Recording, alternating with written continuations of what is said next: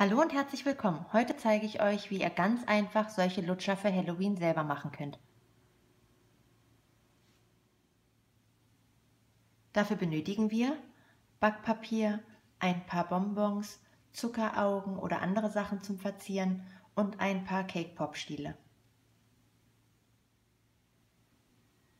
Als erstes bereitet ihr euch das Backpapier vor und packt eure Bonbons aus.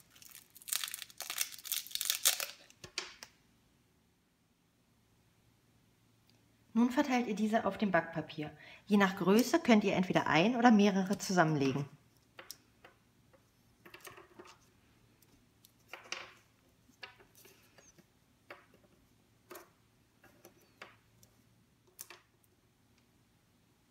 Jetzt geben wir das Ganze bei ca. 120 Grad in den Backofen für ca. 5 Minuten. Am besten eignet sich dafür Ober- und Unterhitze.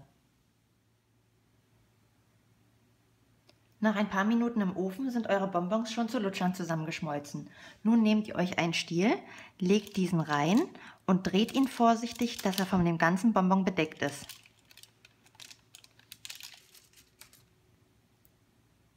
Nun könnt ihr eure Lutscher verzieren. Ich habe mich jetzt hier für ein paar Augen entschieden. Ihr könnt natürlich aber auch alles andere nehmen.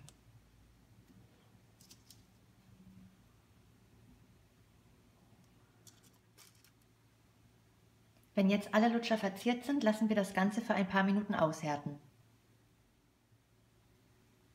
Dann könnt ihr sie schon vorsichtig vom Backpapier ablösen.